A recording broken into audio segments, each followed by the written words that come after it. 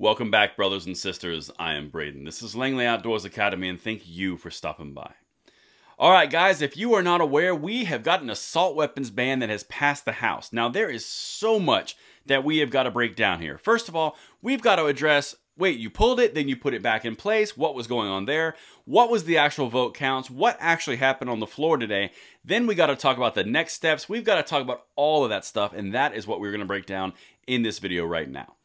Now, everything is going to be linked in the description box below, and if you guys are new, we would love to have you join the fold because we need as many people as we can in the fold so we can get more information out more quickly, and more efficiently. And if you think we earn that subscription, we would love to have you. Now, one of the cool things about this video is this is a sponsored video, which allows me to go more in depth and spend more time breaking down all the details, which is why this is a longer video. I'm going to say a quick word from our sponsor, Surfshark, right now, and then we're going to break this all down and I'm going to leave you exactly with our next steps. Surfshark VPN gives you the power to protect your privacy. Control your personal data, access content safely, and unlock exclusive benefits. And it has a 30 day money back guarantee. And I'm going to walk you through a few of the reasons why I think we all can benefit from this, particularly in our line of interest. One of the most important things that Surfshark VPN allows you to do is to control your personal data. Securing yourself online from those annoying tracking apps that we know are happening, which are enabling those cookies which seem to predict our every move and all of our wants and desires. Well, no longer with Surfshark VPN. It will also allow you to travel the world digitally. For example, look what I can do with Netflix. More content from different regions right here. If I type in Marvel, you can see a certain amount of titles will pop up. However, when I engage Surfshark VPN, different region, reload that bad boy, and you're going to see different titles are going to pop up, which makes you have more content through Surfshark VPN. Now, purchasing a 24 month VPN plan is seriously one of the best plans available. And if you use my link right here, you can get three months for free. It's that easy. Just download the VPN via my link in the description box and enter my promo code you see on the screen right now. Click in the description box below to find out more, and thank you so much for your interest in Surfshark VPN. All right, so thank you to Surfshark VPN for making this video possible. Now let's get to the work that we have to do because, as I mentioned in the intro, we've got a new assault weapons ban that passed the House. Now, just if you're keeping score at home, this is exactly where we've been talking about where it was going to go. It was more than likely going to pass the House much more easily than the Senate. Now, like I said, we talked about that a lot. Even the mainstream media was saying, yeah, the House is a thing, but the Senate's going to be a little bit more of a challenge. It was a big deal when the House pulled the vote on Wednesday, and that's what we're about to break into. But this is the actual vote. This happened about 30 minutes ago. It actually became passed in the House. There's the actual vote totals 217 to 213. They snuck by by the skin of their teeth. You had two Republicans jump ship and jump and vote for it, 215 Democrats, five Democrats voted nay, and 208 Republicans uh, voted nay as well. Like I said, total was 217 to 213. This was as close as it possibly could have gotten without failing in the House, which is indicative of the concerning nature of this bill. But that's where we're at. So now let me walk you through how we actually got here because I know I feel the same way as some of you guys do. Wait a minute. Wednesday, they came out and said, We're not voting on this at all. This is not happening. We're going to punt it till mid August or late August. And now, all of a sudden, overnight, it goes into a bill on Friday where they say, Hey, we're voting on it. It worked out. Here's all the bills. We got the votes. Let's do it. Let's walk through that because this is incredibly important. Like I said, everything is linked in the description, but it's important to know what happened. House Democrats tee up last minute vote Friday on assault weapons ban. This is from today at 1249. So this is pre the vote being actually confirmed, okay? So this is what the media was saying about what happened. This is important because you have to understand what they're saying. House Democrats announced a last minute vote on a bill to ban assault weapons on Friday looking to pass a highly anticipated legislation before lawmakers break for the August recess, which is what we've talked about. That's nothing new. But here's what they did in order to make this happen. The House took a key step toward passing the assault weapons ban Friday morning, approving a resolution for same day authority that allows the chamber to fast track top priorities. So, what they did was they put it to the House and they said, hey, H.R. 1300, this is something that we need to vote on to make this an a, uh, expedited voting process so we can vote on the same day, which brought up 1808. That's all that happened here. They put it to the floor. They said, let's do debate. It passed debate. Then they said, let's expedite the vote. They expedited the vote, and then they actually made the vote happen, of which they passed 217 to 213. So that's the sequence of events. That's what they had to do to get it in order. Now, check this out. The House is slated to debate and vote on the bill later Friday. As I mentioned, it was written earlier today. During her weekly press conference on Friday, Pelosi said she expects the measure to pass. And she was correct. It passed by a sliver. All right. But now let's get back to why did they halt the vote? Because everything in here is connected. This is not just AWB and assault weapon bans. This is not just police funding. This is not the PLCAA. This is all integrated together. Check this out. This is what she said earlier. Pelosi announced on Wednesday that the House would delay votes on the assault weapons ban and community safety legislation to give lawmakers more time to negotiate remaining disagreements on policy provisions. Now, that's where we were on Wednesday. In fact, that was the stance on Thursday. Late Thursday night, they changed it up and said, no, no, we're going to vote on Friday. What happened? This is what they did. And this is important to understand how they navigated this.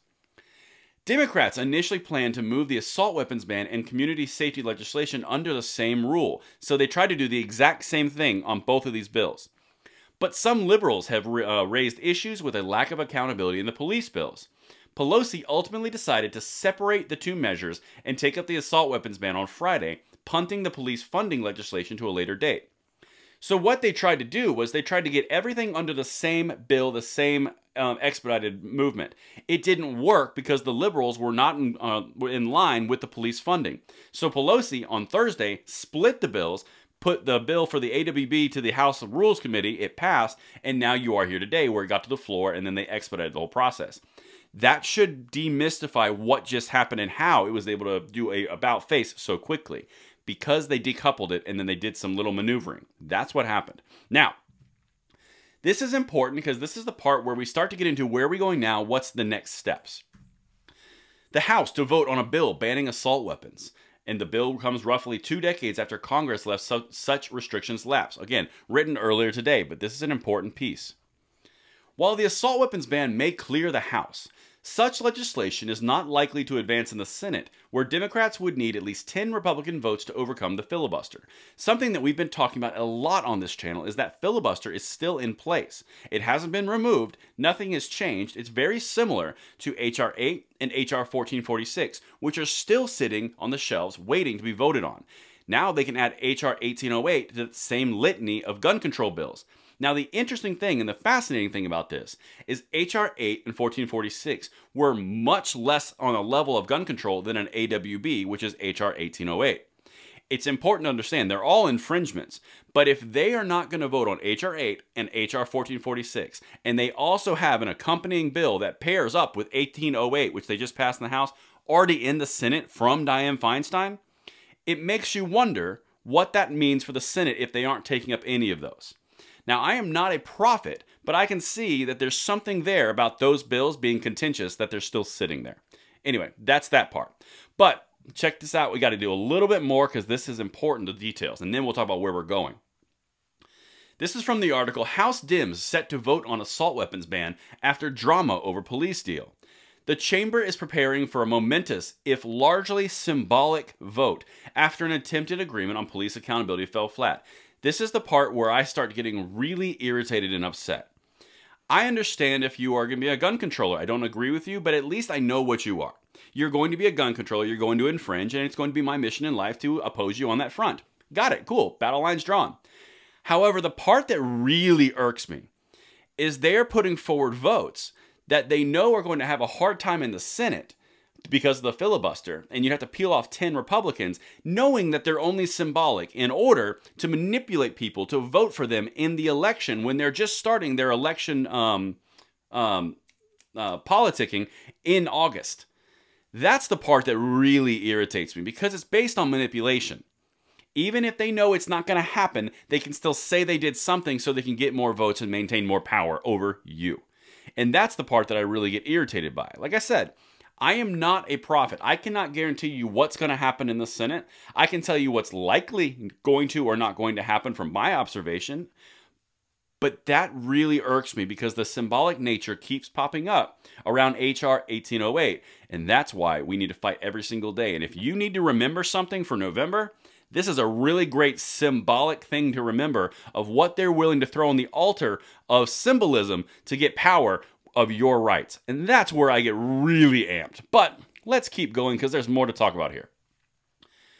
Even after a frenetic bout of arm twisting Friday, Democrats remained short of the votes needed for the policing package.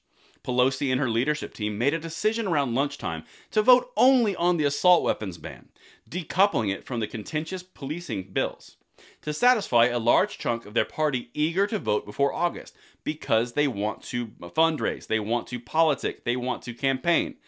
This is more. This is from Politico. This is the third source I've shown you. Got one more thing for you. This is a Democrat who actually spoke on the on the terms of anonymity so they don't get in trouble. Quote, right now, we should be voting to support the police.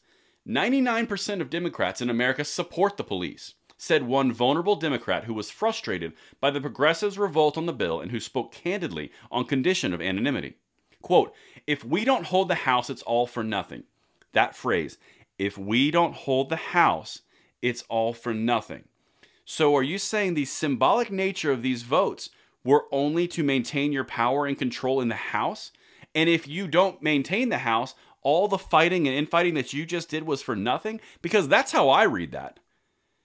That's why I get so irritated. That's my own personal little angst around this entire thing, is because they're manipulating people. And I really despise that. So, now let's talk about where we're going next.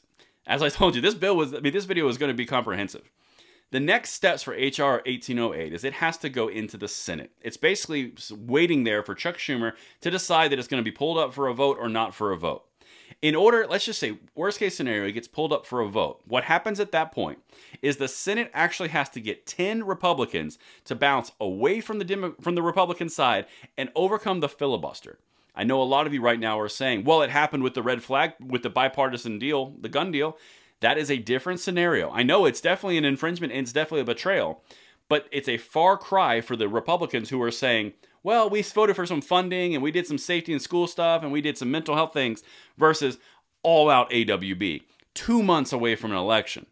Like I said, and I'm going to reiterate, I'm not a prophet, but where we are right now is exactly where we thought we were going to be going into August.